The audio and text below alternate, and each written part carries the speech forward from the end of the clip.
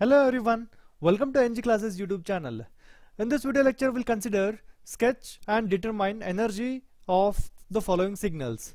The first signal is x of t and the second signal is x of n. Sketching x of t and finding its energy we have considered that in the previous video lecture. In this video lecture we'll consider sketching x of n. So let me indicate this uh, x-axis and y-axis. x of n is nothing but minus u of n minus 1 plus u of n minus 5. It has got two signals. So these are those two signals. It is a discrete time signal. First signal is u of n minus 1. u of n is a unit step signal and u of n minus 1 is the shifted version of that to the positive 1, 2, 3. So the signal starts from 1 and it, uh, it, it, it exists till infinity. And later its amplitude is made as negative. Hence it is minus u of n minus 1 I hope you people have understood. If I have to sketch that it would look something like this. So this is the shape of the signal that I'm going to get. Yes. And this is going to extend till plus infinity. And its values are minus 1 is that okay? So this is how the signal minus u of n minus 1 would look like. The next part is I would consider u of sketching n minus 5 sketching u of n minus 5 so it is nothing but shifted version of unit step to the position 5 so 5 so let me indicate that. 5 6 7 and so on. That exists till infinity. And that would look something like this. Its amplitude is going to be positive Yes. This is the signal that exists and that goes till plus infinity. Its values are 1. And for the position 0, 1, 2, 3, 4, it's uh, the samples are 0. All those values are 0. So these are the two signals. The next task is I need to add these two signals so that I would ultimately get the signal x of n. The, this is what we are looking for.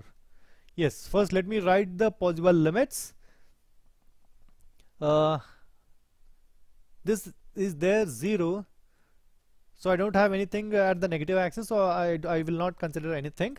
Yes uh, add all those things the signals uh, step by step. So let me write the limits as 1 2 3 4 5 6 maybe 7 yes. At the position 0 I don't have any signals so it is 0 at the position 1 the signal is minus 1 here I don't have uh, anything. Minus 1 plus 0 that I'm going to get minus 1 is that okay?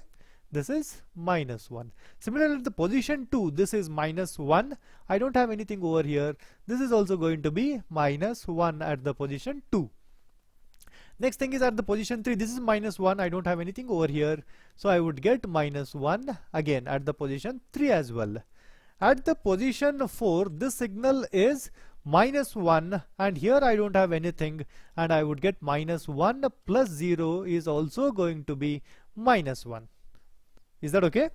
At the position 5, this signal is minus 1 and this signal is plus 1 and both would cancel because I'm adding those two signals and I would get 0 at the position 5. Similarly at this position 6 uh, I have got minus 1 plus 1 if I add them up I would get 0. So at the position 7 also I'm going to get I'm going to get 0 till infinity. So this is the signal ultimate signal x of n uh, looks like.